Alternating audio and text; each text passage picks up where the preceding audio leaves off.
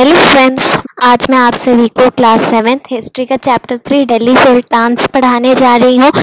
दिल्ली सुल्तान start करते हैं। uh, तो इसका main point Kaveri delta became the centre of the large kingdoms यानी जो लार्ज किंगडम्स थी उनके कावेरी डेल्टा जो है मेन सेंटर बनी थी। So did you notice that there was a mention of a kingdom with Delhi as its capital that this was because Delhi became an important city only in the twenty fifth century twelfth century so इसका मतलब है कि Delhi twelfth century में ही जाकर एक main और main और important city बनी।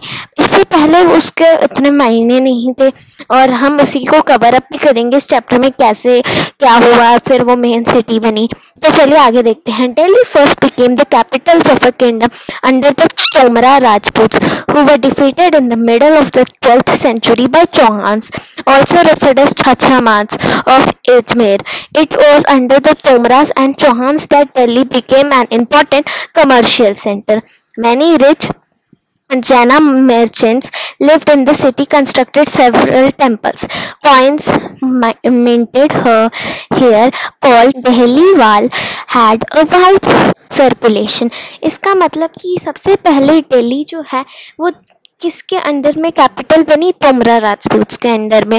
हाँ इसमें क्या हुआ था? ट्वेल्थ सेंचुरी में चौहान्स ने, जो अजमेर के थे, उन्होंने तोमरा राजपूत को हराया और दिल्ली को अपने अंडर में बना, अपने अंडर में ले लिया और उसे एक इम्पोर्टेंट कमर्शियल सेंटर यानी जहाँ से खरीदी होती थी, फिर बिज़नेस वगैरह टाइप के चलते थे, पहले के व्यापारी जहाँ पे इम्पोर्टेंटली काम करते थे वो। तो यहाँ पे बहुत सारे रिच जैन मर्चेंट्स रहते थे इसमें। और इन्होंने बहुत सारे मंदिर बनवाए थे फिर पहली बार करके कॉइन्स के नाम दिए थे और बहुत सर्कुलेशन हुए थे इन कॉइन्स के तो अब आगे देखते थे transformation of Delhi into a capital that control vast areas of the subcontinent start with the foundation of the Delhi सल्तनत in the beginning of 13th century. Let's take a look at table 1 again and identify the five dynasties that together made the Delhi Sultanate. अब ये important point है दिल्ली सल्तनत के बारे में। तो हमारे दिल्ली जो है, ये कैपिटल्स बनी है। जब बहुत सारे लोगों के, बहुत सारे रूलर्स के अंडर में कैपिटल बनी इम्पोर्टेंट कमर्शियल सिटी बनी है। तो दिल्ली सल्तनत ने ही दिल्ली को है तो एक मेन एरिया बनाया। दिल्ली को फाउंडेशन एक तरह से फाउंड किया। दिल्ली को एक एज अ कैपिटल एक बहुत बड़ा सिटी में इन्होंने ही डेवलप किया। दिल्ली सल्तनत भी कोई एक ही डायनेस्टी या एक ही किंग ने मिलकर या किसी एक सुल्तान ने मिलकर नहीं, लेकिन बहुत सारे डायनेस्टी बहुत सारे सुल्तान्स ने मिलकर बनाया। तो इसमें फाइव डायनेस्टीज हैं जो मेन है दिल्ली सल्तनत की। तो देखते हैं थोड़ा और आगे चल, थोड़ा और आगे चल के देखते हैं। द दिल्ली सल्तनत, the Delhi sultans built many cities in the area that we know now as Delhi at map 1 and look at delhi i kohana siri and Jahanpanah. तो अब बता रहे हैं कि दिल्ली सुल्तान्स ने बहुत सारी सी, जो है मैनी सिटीज़ बनाई। तो इसमें दिल्ली है, जो अभी भी हम दिल्ली बोलते हैं। तो यही दिखा रहे हैं कि अभी भी कई सारी जगहें हैं। जैसे हमारा आप देख ही सकते हैं, ये एक है सी सीरी एंड जापना तो ये भी हमारे इस मैप में होगा। और ये दिल्ली ई कोहाना ये रहा हमारे मैप में। तो यही बता रहे हैं कि अभी भी हम बहुत सारी जगह यूज़ करते हैं वही पुराने नामों को। तो the rulers of Delhi table number one हम इसको देखते हैं। ये हमें बताएगा कि कौन कौन से डायनेस्टीज कौन कौन से रूलर हैं।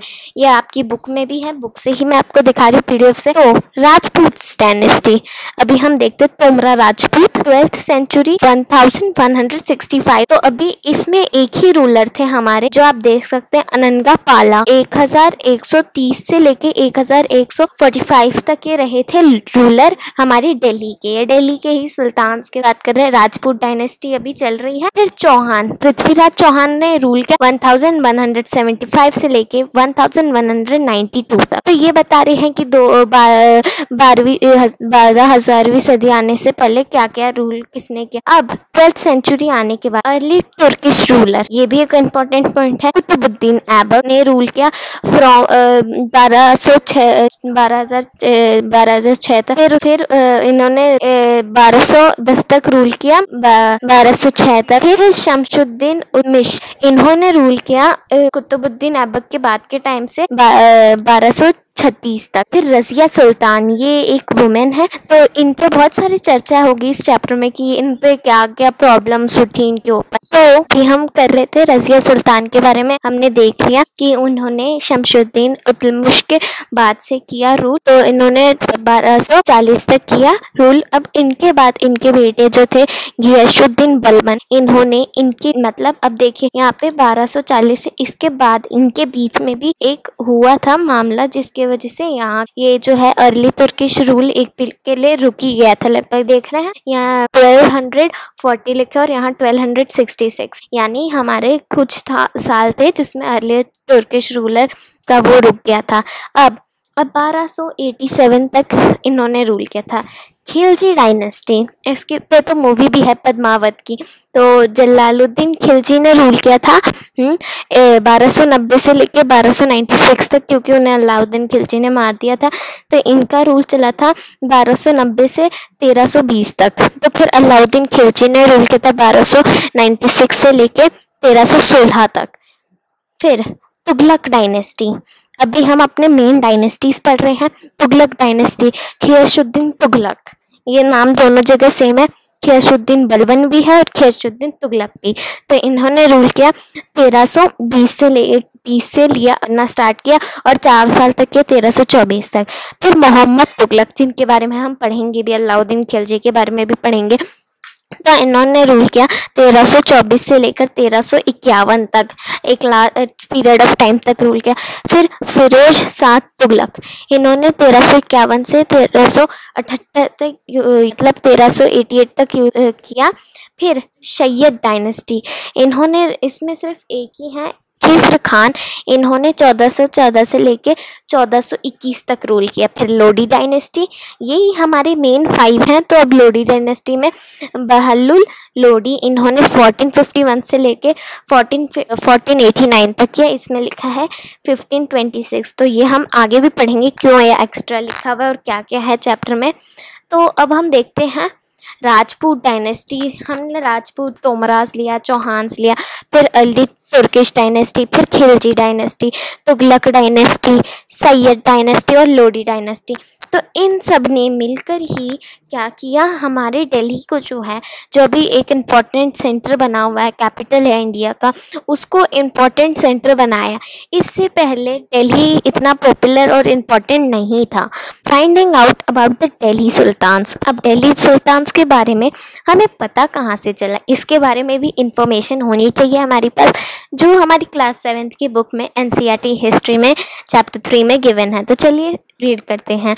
तो all through inscription coin and architecture provide a lot of information specially valuable are histories तारीख सिंगुलर तवारिख plural फिर written in Persian, the language of administration under the Delhi Sultans. इसका मतलब कि हमें दिल्ली सुल्तान्स के बारे में नॉर्मली इंस्क्रिप्शंस वगैरह से तो पता चलता ही है, लेकिन साथ ही साथ हमें पता चलता है उनके बारे में तारीख और तवारीख से। तारीख को ही जब बहुत सारी तारीख मिला देते हैं, ये डेट वाला तारीख नहीं है। ये है जिसमें दिल्ली सुल्तान ने अपने बारे में लिखवाया होगा, अपने कोटेर से मतलब जो दरबारी हैं उनसे। तवारीख मतलब बहुत सारे तारीख जब मिले हों तो इन्हीं को अब इन्हें पर्शियन लैंग्वेज में भी लिखवाया गया। तो दिल्ली सल्तनत से इसमें यह पता चलता है कि पर्शियन लैंग्वेज थी उस समय दिल्ली सल्तनत के अंडर में। फिर आपने ये डायग्राम तो देख ही लिया होगा। तो इसमें बता रहे हैं कि कैसे कैसे बना ए बी सी डी तो अब देखते हैं क्या है। द ऑथर्स ऑफ़ तबारिक वर लर्नड मैन मैन का मतलब जो पढ़े लिखे होते हैं। Secretaries administrators poets and courtiers who both recounted events and advise rulers on governance emphasizing the importance of just rule फिर ये सब लोग जो थे ऑथर्स वगैरह, ये लर्नड मैन थे, पढ़े लिखे थे सेक्रेटरीज वगैरह ज़्यादा होते थे पोएट्स जो होते थे, यही होते थे ज़्यादातर। तो ये रूल के, वो रूल के इम्पोर्टेंस भी समझाते थे किंग को। जैसे कि आप देख रहे हैं, एक मैन्यूस्क्रिप्ट को मेकिंग के लिए preparing the paper A drawing जो आपको दिखाई थी, मैंने फिर से दिखा रही हूँ, ये है preparing the paper B writing the text फिर melting the gold to highlight important words and passage D preparing the binding तो यही हम पढ़ने वाले हैं कि कैसे कैसे बन रहे हैं, वो बस एक एडवाइस दे दी कि क्या होता है। तो the circle of justice फरीक i Mudabbir wrote the thirteen century तो a king can not survive without soldiers and soldiers can not survive without salaries salaries come from the revenue collected by the peasants but peasants can pay revenue only when they are proportion and happy. This happens when the king promotes justice and honest governments. तो इसमें फ़कीर ए मदुद्दीन यही बोल रहे हैं मतलब फ़कर ए मुदब्बिर यही बोल रहे हैं कि किंग जो है, वो सोल्जर्स के बगैर रह नहीं सकता, वरना उस पर हमला हो जाएगा, वो हार जाएगा, और फिर वो शायद दास वगैरह बन जाए या उन्हें मार दिया जाए। और सोल्जर्स बिना सैलरी के नहीं रह सकते, वरना वो कोई और काम ही करने लगेंगे सैलरी के लिए। और सैलरी कहाँ से मिलती है? रेवेन्यू से जो वो पीजेंट्स यानी कि फार्मर्स वगैरह से लेते हैं। तो फार्मर्स को सैलरी देंगे मतलब रेवेन्यू देंगे। जब उन्हें ऑनेस्ट गवर्नमेंट मिलेगी, जब वो खुशी से रह पाएँगे, तभी तो वो देंगे, वरना उन, जब उनके पास खुशी नहीं है तो क्या करेंगे? सरकार जो रूलर्स हैं उन्हें पे करके, उनके पास तो कोई, वो नहीं है, कोई प्रॉफिट एडवांटेज नहीं है। तो अब हम नेक्स्ट चीज़ पे चलते हैं। The following additional details in the mind first The authors of Tariq and Tawarik lived in cities, mainly Delhi, and hardly ever in villages. Second, they often wrote their history for sultans in the hope of rich awards. These authors advised rulers on need of preserve an ideal social order based on birthright and gender distinction. Their ideas were not shared by everyone. अब इसका मतलब यही बता रहे हैं कि ज़रूरी नहीं है, जैसे तवारीख में लिखा है कि किंग वैसा ही हो। क्योंकि तवारीख जो लिखते थे, वो मेनली सिटीज़ के लोग लिखते थे और लर्नड मैन पढ़ाए लिखे हुए लोग लिखते थे। गाँव वाले लोग नहीं लिखते थे। क्योंकि हो सकता है गाँव वाले लोग अपनी प्रॉब्लम्स लिखते और लर्नड मैन ना होने की वजह से उन्हें लिखने का मौका भी नहीं मिलता था। फिर हिस्टोरियन सोचते थे कि हम ही रहे तो ऐसा लिखते हैं कि किंग से हमें पैसे मिल जाए, कुछ रिवॉर्ड मिले रिच रिवॉर्ड्स तो यही बता रहे हैं कि हमारे को इन पे इतना भी भरोसा नहीं करना चाहिए।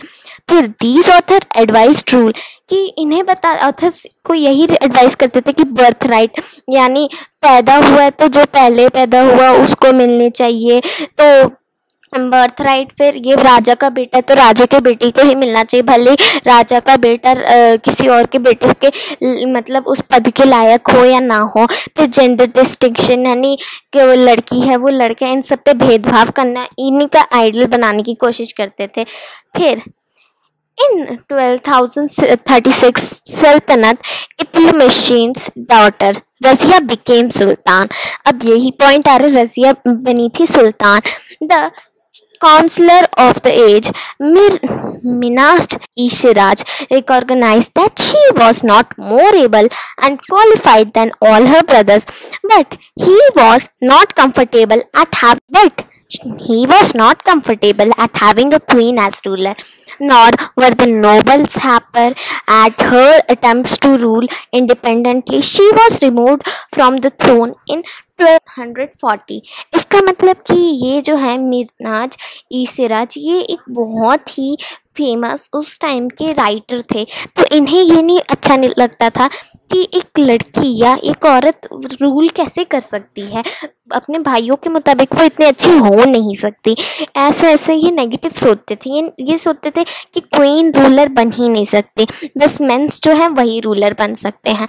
तो ये अनहैप्पी थे और बहुत सारे जो कोटियर्स थे वो भी अनहैप्पी रहते थे।